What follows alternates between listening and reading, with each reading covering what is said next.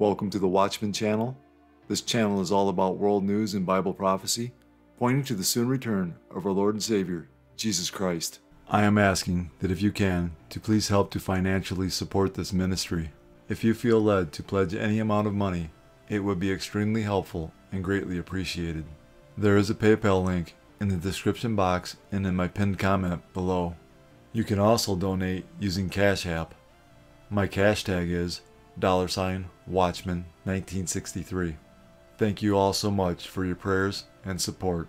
God bless. Jesus said, as a sign of his coming and the end of the age, there would be an increase in deception, false Christs who will deceive many, wars and rumors of wars, nation against nation and kingdom against kingdom, famines, pestilences, earthquakes, Christian persecution, apostasy, false prophets, and lawlessness causing the love of many to grow cold. Jesus said all of these signs would come like birth pains. Jesus was likening last days events to a woman in labor. As the labor progresses, the pains increase in both frequency and intensity until the baby finally comes. As we get closer to Jesus' return, all the signs he gave us as a sign of his coming and the end of the age will become more frequent and more intense. All of these signs are manifesting around the world in our time. The explosions came just after midnight in a residential neighborhood of Kharkiv. According to police, Russia fired two missiles at the city, then attacked with drones during rescue operations. I was sleeping. The explosion woke me up. The fuel station was on fire. They yelled at me, Get out! But I stood there and stared. There was another explosion, and everything started falling. The attack came as Ukraine's Air Force reported multiple Russian drone attacks across the country in recent days. On Friday, a Russian strike on the southern city of Zaporizhia killed four people and wounded more than 20. As in Kharkiv, local authorities also accused Russia of bombing the same spot twice in order to kill the rescue workers on the scene. The Russian army said it intended to target a Ukrainian aircraft engine manufacturer, which it said was being used for military purposes. From March 31st to April 5th, in response to the Kiev regime's attempts to damage facilities in Russia's oil, gas, and energy sectors, the Russian armed forces carried out 39 group strikes using high precision ground and air launched weapons and drones. In addition to attacks on Russian refineries, Ukraine has also struck an air base in the Rostov region. On Friday, Ukrainian President Volodymyr Zelensky visited fortifications in Chernihiv. Zelensky has been calling on the West to continue its military aid as Russia gains ground against a Ukrainian army short of soldiers and ammunition. In the last days, the prophet Zechariah tells us Israel will be the focal point of world conflict, and he gives a dire warning to the nations who would dare come against Jerusalem. Zechariah 12 2 and 3 Behold, I will make Jerusalem a cup of drunkenness to all the surrounding peoples, when they lay siege against Judah and Jerusalem. And it shall happen in that day that I will make Jerusalem a very heavy stone for all peoples. All who would heave it away will surely be cut in pieces, though all nations of the earth are gathered against it. This prophecy is unfolding right before our very eyes. A day of national mourning as the coffins made their way through the streets of Tehran and a hero's farewell for five of the seven men killed in Syria. All were Revolutionary Guards, including one of Iran's highest ranking officers, Brigadier General Mohammad Reza Zahedi, in charge of Iran's Quds forces in Lebanon and Syria. The public procession ceremony was held alongside annual Quds Day events. It's been held every year since the Islamic Revolution in 1979 on the final Friday of Ramadan to show solidarity with the Palestinian people. Monday's attack in Damascus is being seen as a major blow to the guards. They've suffered 18 losses so far in Syria alone since the war on Gaza began in October. The bombing of the consulate section of the Iranian embassy in Damascus marks a new stage in what's described as a shadow war between Iran and Israel. The Zionist regime must know it can't achieve security by carrying out destabilizing actions. The Zionist regime will be punished. It knows what will happen and is within our reach. Iran's supreme leader said a final prayer over the coffins on Thursday evening. I offer both my congratulations and condolences to the families of these martyrs. I hope that God grants patience to the mothers, fathers, wives, and children of these martyrs. The latest attack on high ranking members of the Revolutionary Guards is seen by many as a test for the leadership here. How they respond could determine if Israel will continue its campaign of assassinations in the region. During the past six months, armed groups backed by Iran have used drones and missiles to target Israel, as well as shipping in the Red Sea and U.S. forces in the region. While Iran launched ballistic missiles at a target in Erbil in northern Iraq in January, the Iranian military has not yet directly targeted Israel. But after vowing revenge following the Damascus strike, that could soon change, creating a tense atmosphere here for many. Well, now to some breaking news. CBS News has learned that U.S. intelligence believes Iran is preparing a major attack in retaliation for Monday's airstrike by Israel on the Iranian consulate in Damascus. Now, the U.S. has warned Iran in writing not to attack U.S. personnel and facilities. CBS's David Martin is at the Pentagon with these new developments. Iran's supreme leader held funeral prayers for the Revolutionary Guards killed by an Israeli airstrike, as both the U.S. and Israel braced for a retaliatory attack. U.S. officials tell CBS News Iran is making preparations to launch a swarm of drones and missiles timed around the upcoming end of Ramadan. The target is still unknown, but Israel is reinforcing its air defenses. The ways of retaliating can come from anywhere, including Iran, Israel's defense minister said, and we are preparing to face this matter. I think Iran will cast about for a uh, relatively vulnerable target, perhaps an embassy somewhere abroad, something like that, maybe a ship at sea. Retired General and former Mideast Commander Frank McKenzie says Monday's Israeli strike against the Iranian diplomatic compound in the Syrian capital of Damascus was the most significant Israeli attack against Iranians since the war in Gaza began. It's a very precisely directed strike that took out key leadership. Uh, and, and I think it's hurt them quite a bit. Two senior generals were among the seven killed in what Iran considered to be an attack on its sovereign territory caught the U.S. as much by surprise as it did Iran, even though it was carried out by an American built F 35 stealth fighter. The U.S. was quick to disavow any connection. We were not notified by the Israelis about their um, strike or the intended target of their strike in Damascus. Still, Iran has vowed to hold the U.S. as well as Israel accountable, and American troops throughout the Middle East have been put on high alert that they too might be attacked in coming days. As we continue to watch the Muslim world unite against Israel, the Bible tells us there are four possible prophecies on the verge of finding fulfillment. Isaiah 17 1 and 14. The burden against Damascus. Behold, Damascus will cease from being a city, and it will be a ruinous heap. Then behold, at eventide trouble, and before the morning he is no more. This is the portion of those who plunder us, and the lot of those who rob us. Isaiah 17 9. In that day his strong cities will be as a forsaken bow and an uppermost branch, which they left because of the children of Israel, and there will be desolation. Isaiah 17 1 and 14 tell us Damascus will be destroyed in a single night. Verse 9 suggests it is the children of Israel who caused this desolation, possibly with a nuclear weapon. Jeremiah 49 34 through 37. The word of the Lord that came to Jeremiah the prophet against Elam. In the beginning of the reign of Zedekiah, king of Judah, saying, Thus says the Lord of hosts, Behold, I will break the bow of Elam, the foremost of their might. Against Elam I will bring the four winds from the four quarters of heaven, and scatter them toward all those winds. There shall be no nations where the outcasts of Elam will not go. For I will cause Elam to be dismayed before their enemies, and before those who seek their life. I will bring disaster upon them my fierce anger, says the Lord, and I will send the sword after them until I have consumed them. In this prophecy, Jeremiah predicts that Iran will be struck at the foremost place of its might, which today could infer an attack upon its nuclear program. One of Iran's most strategic and vulnerable nuclear targets is Bushehr nuclear reactor located in the heart of ancient Elam. Jeremiah says that Iran has fiercely angered the Lord, and that provokes the Lord to cause a severe disaster inside of Iran. Israel seeks to prevent Iran from becoming a nuclear nation. Perhaps this alludes to a nuclear disaster caused from a strike upon Iran's Bushehr nuclear reactor. There's a prophecy written by Asaph the seer that many end time teachers believe has yet to find fulfillment. In this prophecy, a confederation of Muslim nations have taken crafty counsel against the Jewish people in Israel in order to destroy them, as we read in Psalm 83 1 through 8. Do not keep silent, O God.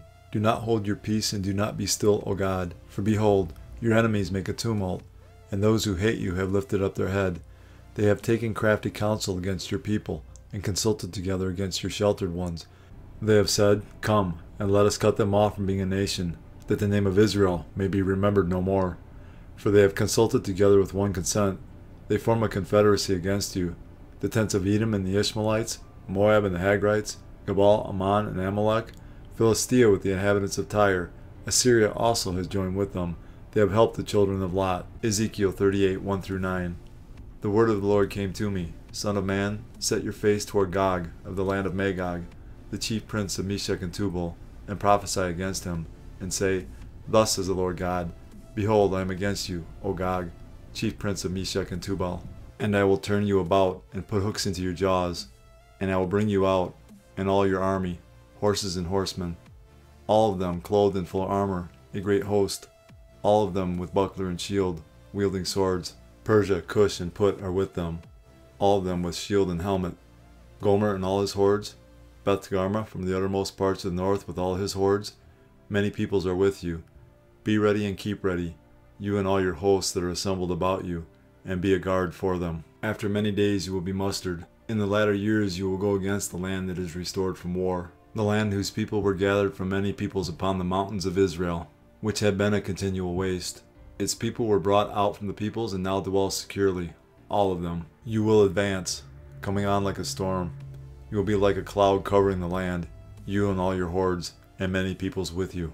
These are the modern day nations listed in Ezekiel 38 and 39 who will be mustered in the latter years to attack Israel Russia, Iran, Turkey, Libya, Sudan, and Ethiopia. God tells us exactly what will happen to Iran, Russia, Turkey, and the many peoples with you when they attack Israel in Ezekiel 38, 18 through 23, and 39 2, 7 and 8. And it will come to pass at the same time, when God comes against the land of Israel, says the Lord God, that my fury will show in my face. For in my jealousy and in the fire of my wrath I have spoken. Surely in that day there shall be a great earthquake in the land of Israel, so that the fish of the sea, the birds of the heavens, the beasts of the field, all creeping things that creep on the earth, and all men who are on the face of the earth shall shake at my presence. The mountains shall be thrown down, the steep places shall fall, and every wall shall fall to the ground. I will call for a sword against Gog throughout all my mountains, says the Lord God.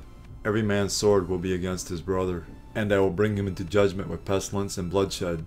I will rain down on him, on his troops, and on the many peoples who are with him, flooding rain, great hailstones, fire, and brimstone. Thus I will magnify myself and sanctify myself, and I will be known in the eyes of many nations. Then they shall know that I am the Lord. And I will turn thee back, and leave but the sixth part of thee, and will cause thee to come up from the north parts, and will bring thee upon the mountains of Israel. So I will make my holy name known in the midst of my people Israel, and I will not let them profane my holy name any more. Then the nations shall know that I am the Lord, the Holy One in Israel. Surely it is coming, and it shall be done, says the Lord God. This is the day of which I have spoken. I've been informed by top ranking military officials that Israel has been unable to launch even a single plane in defense. As I stand here, fighter planes are exploding in midair. They're crashing and falling to the ground without any explanation. And while no one can seem to give me any reason for why this is happening, I can tell you this. This all out, unprecedented attempt to destroy Israel appears to be failing. God is the one who fights this battle for Israel. He does it for two reasons to make his holy name known in the midst of his people Israel, that the nations shall know that he is the Lord, the Holy One in Israel. Zechariah 2 8 and 9.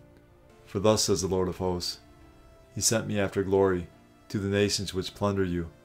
For he who touches you touches the apple of his eye. For surely I will shake my hand against them, and they shall become spoil for their servants then you will know that the Lord of hosts has sent me. Israel is precious to Almighty God, the apple of his eye.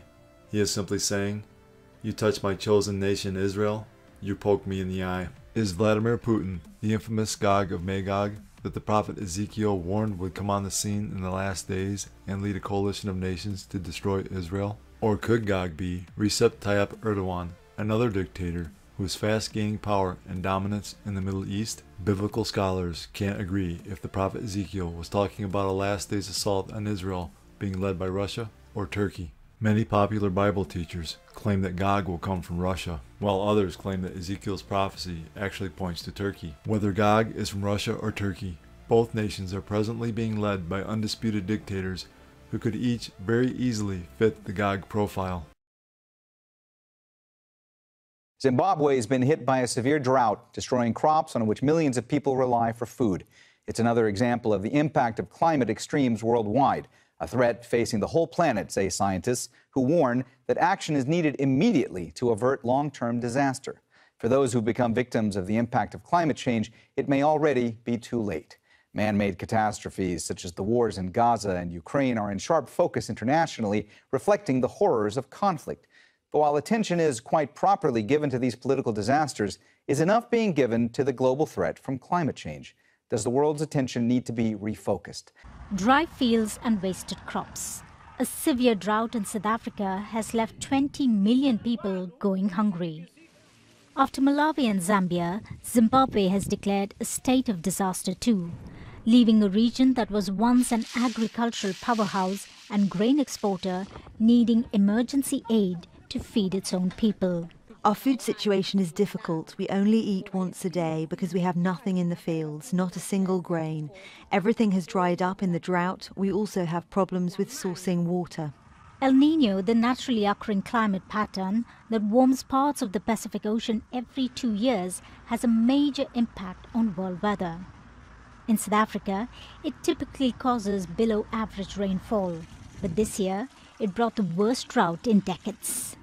The United Nations says major food growing areas in Malawi, Mozambique, Namibia, Zambia, and Zimbabwe have seen some of the lowest rainfall in 40 years. The crop production is very, very much affected by the current El Nino situation. After the, the first rains in January, but since then there has been no rain.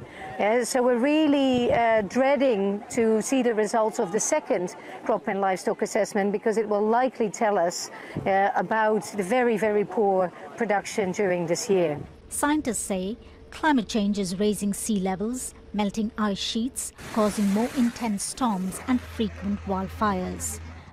For the first time in January, the world breached the benchmark warning level of a global increase of 1.5 degrees centigrade. Experts predict a further supercharging of global warming from effects such as El Nino, delivering record breaking temperatures. Last year was already the hottest on record globally. Droughts, floods, and other extreme weather is expected as global temperatures continue to rise.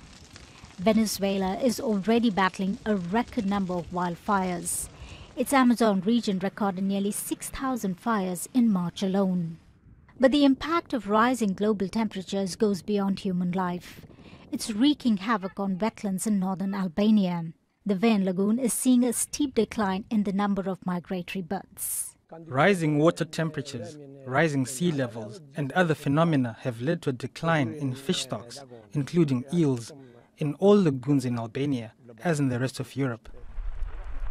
Conflicts and climate crises are affecting the lives of millions around the world.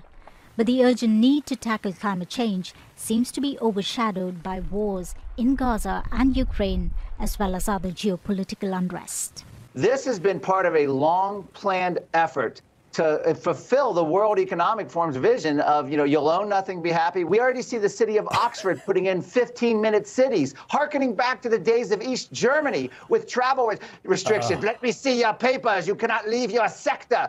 That's what we're dealing with here. This is spreading. And it, and it started in Europe, by the way, going after the food supply, going after high yield agriculture and animal agriculture. And guess what? John Kerry announced last week that agriculture is now in the climate targets in the United States. So they're going to go for food first and then our transportation. They're already banning gas powered cars, creating yeah. intentional car shortages. Every part of this climate agenda is somehow inconveniencing literally everybody on Earth. So why do people go along with it when none of their predictions have come true?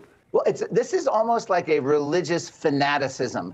It's a it's the idea of we have to do this. The United Nations tops. In fact, you can't even disagree with the UN. They did a partnership with Google. They own the science, according. So they're doing it in order to achieve this utopian vision, and it's like they're imposing a religion, a, uh, a, a, austerity upon the rest of us. And by golly, they're going to make it happen. They're collapsing our energy, our food, our transportation, yeah. our free speech, and this is all through corporate government collusion, mostly throughout any without an ounce of democracy, just like COVID, when yeah. they closed schools and churches and work and or issued stay-at-home orders and canceled weddings, funerals, and medical procedures.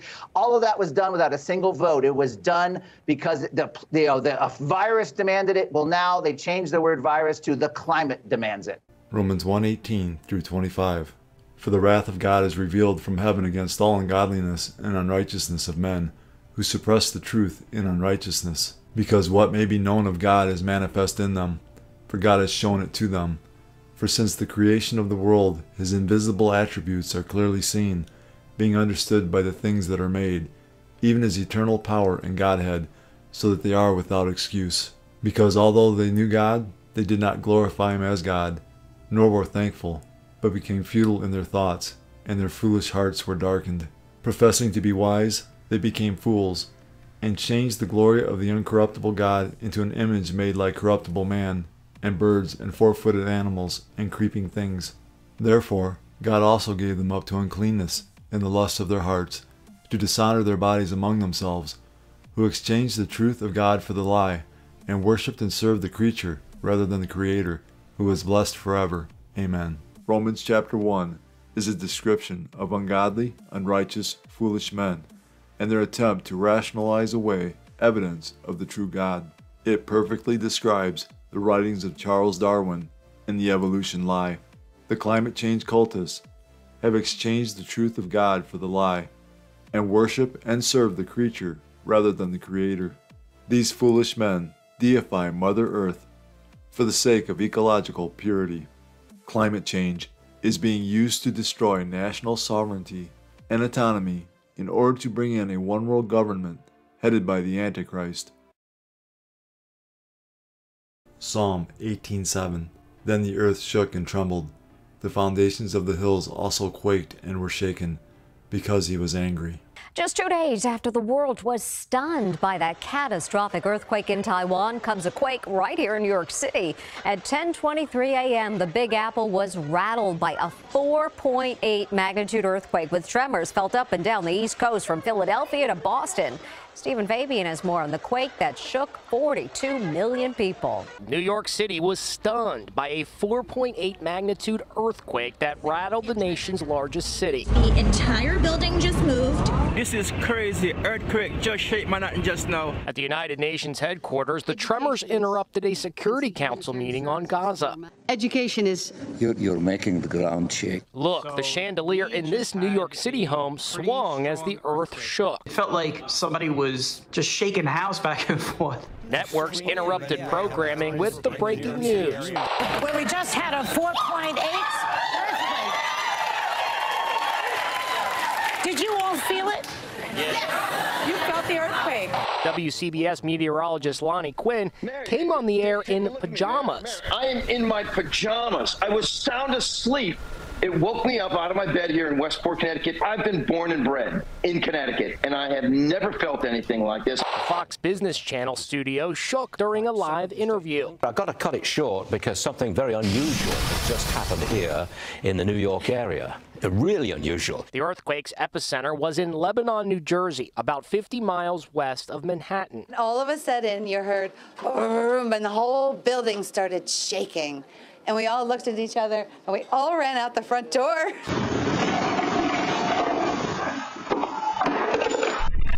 This mom was feeding her baby when she had to drop everything and flee. Ring cameras at this house, 15 miles from the epicenter, captured the terrifying moment. And this was the scene at a New Jersey coffee shop as patrons reacted in fear.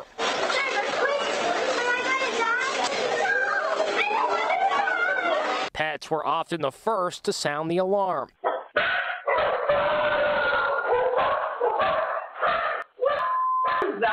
Residents of this multi-family home in Newark were evacuated because it was leaning into the house next door. This is the biggest one, the strongest one that has been on that fault line uh, in 240 years. So you're talking before even George Washington was president, before he got sworn into office. The Statue of Liberty was closed as a precaution, but there are no reports of damage to the city's infrastructure. Still, the danger may not be over. New York Governor Kathy Hochul is warning there could be aftershocks to come. It could be over, but also there could be another effect, and we have to be prepared for that and, and warn New Yorkers to be uh, particularly vigilant in the, the days uh, following an original earthquake. Tremors from the earthquake were felt as far as 200 miles away. It's a school day in Taiwan, but it's too dangerous for pupils of this school in Hualien to return to class. Repairs needed here could cost more than $6 million, and this is just one of dozens of public buildings damaged by an earthquake on Wednesday. Politicians say the government is working towards rebuilding infrastructure and supporting small businesses. When the disaster comes, it's bipartisan. Everyone like work on it and see what we could do. I think that's showing the spirit of Taiwan.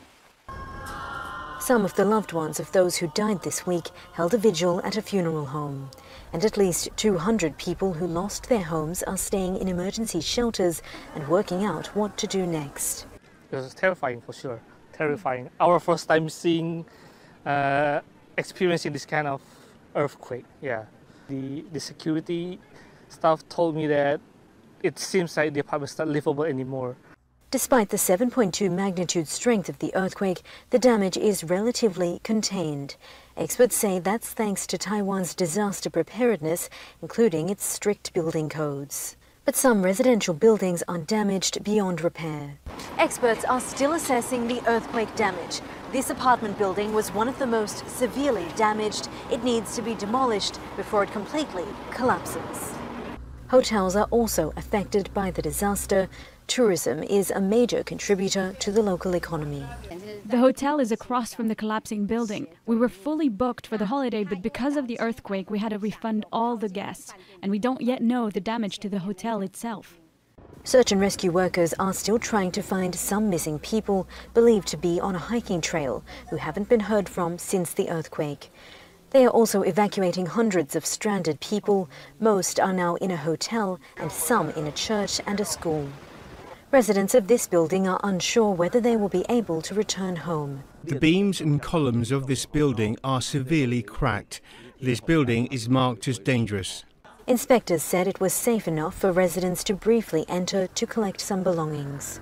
The task feels uh, unprecedented and in, enormous. But if you break into a small step, everything I can handle. She retrieved some documents and a blanket sewn by her grandfather. Now she can only wait to find out whether her home will have to be demolished. Luke 21:11 And there will be great earthquakes in various places and famines and pestilences and there will be fearful sights and great signs from heaven. Isaiah 24:19 through 21 The earth is violently broken. The earth is split open. The earth is shaken exceedingly. The earth shall reel to and fro like a drunkard. It shall totter like a hut. Its transgression shall be heavy upon it, and it will fall, and not rise again. It shall come to pass in that day that the Lord will punish on high the host of exalted ones, and on the earth the kings of the earth. Our next story is about bird flu. From Antarctica to America, it's spreading everywhere. In the South Pole, thousands of penguins are dead. In America, thousands of cattle are infected. And not just that, even humans are affected now. A man in Texas has been infected with the virus. It was after he came in touch with sick cows. Does that mean the virus could spread to more humans? America's top disease control body says no.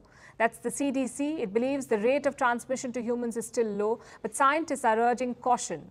Could bird flu become the next pandemic? Antarctica. It's one of the harshest environments on Earth. Yet, in this pristine wilderness, life continues to flourish. But that life is now facing a hidden threat the H5N1 virus, commonly known as the bird flu virus. It reached the region last year, and since then it has been killing the wildlife there. The biggest victim are penguins. Last month, a scientific exploration found at least 532 dead Adelie penguins. Many of them were frozen solid. Others were covered in snow. While the team couldn't tally all the carcasses, they believe thousands more could be dead. But it's not just Antarctica that's affected. Avian influenza is sweeping the United States. The first cases emerged in 2021. It was detected in wild migratory birds. Soon it spread to poultry farms. In 2023, the US went through its worst outbreak of the bird flu. Now it's spreading to other mammals like dairy cows. It has infected herds of cows across the state. But the problem is not just limited to cows. A person has tested positive for bird flu. This was in the state of Texas. He is said to have come in contact with sick cows. Which brings us to the question should you be worried? 873 humans have been infected with H5N1 avian flu in 20 years. 458 have died. That's a fatality rate of more than 50%. India reported its first case and death due to H5N1 in 2021. So, can it cause the next pandemic? For now, avian influenza is not on the WHO's priority list. It's not part of pathogens with pandemic potential. The CDC, or Centers for Disease Control and Prevention, too, say the risk remains low. But scientists have called for more tests. The need of the hour is containing the spread. More people need to be tested, more animals need to be vaccinated, and interaction with infected animals should be monitored.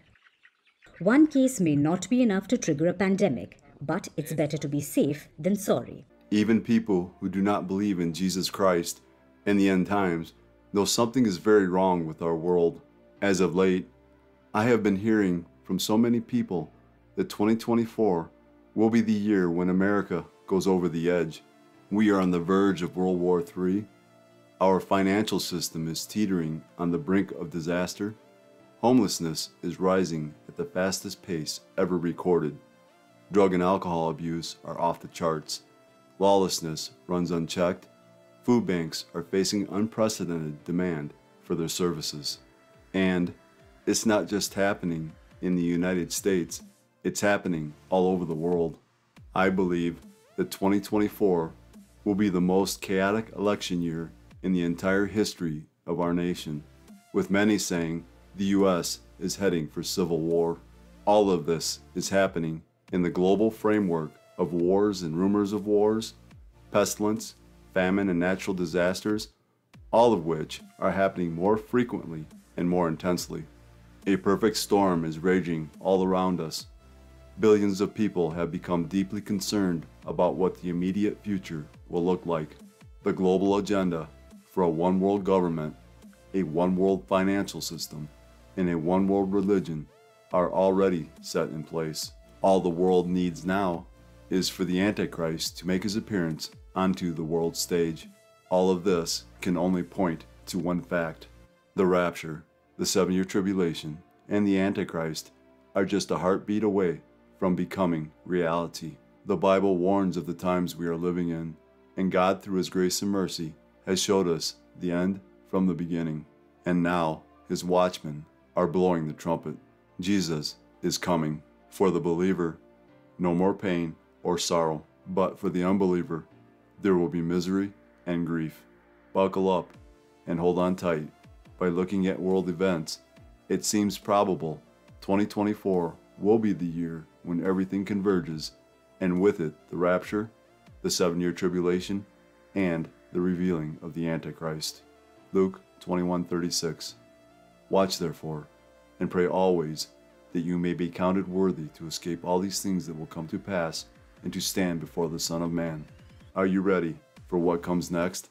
The signs of Jesus' soon return are so strong now, and the evidence is so clear that any person willing to accept the truth can see that the end of the world as we know it is near. For God so loved the world that he gave his only begotten Son, that whoever believes in him should not perish, but have everlasting life. For all have sinned and fall short of the glory of God. But God demonstrates his own love toward us, in that while we were still sinners, Christ died for us. For the wages of sin is death, but the gift of God is eternal life in Christ Jesus our Lord. That if you confess with your mouth the Lord Jesus and believe in your heart that God has raised him from the dead, you will be saved. These are the ABCs of salvation. A. Admit that you're a sinner. B. Believe in your heart that Jesus Christ died for your sins, was buried, and God raised him from the dead. C. Call upon the name of the Lord, and you will be saved. Jesus paid the price for mankind's sin. He has provided a way to spend eternity with Him and the Father. All you have to do is believe in the Lord Jesus, and you will be saved. God has already done all the work. All you must do is receive, in faith, the salvation God offers. Fully trust in Jesus alone as the payment for your sins. Believe in Him, and you will not perish. God is offering you salvation as a gift. All you have to do is accept it. Jesus is the only way of salvation. That being said, we must repent of our sins. While repentance is not a work that earns salvation, repentance unto salvation does result in works. It is impossible to truly and fully change your mind without that causing a change in action. In the Bible, repentance results in a change in behavior. Repentance, properly defined, is necessary for salvation. One day, Jesus is coming. You may be at church. You may be at work. You may be asleep. God grant that you will be ready when He makes His personal appearance. My God, what if appearance occurs on a Sunday morning? My prophetic word to you this morning is get ready! Get ready!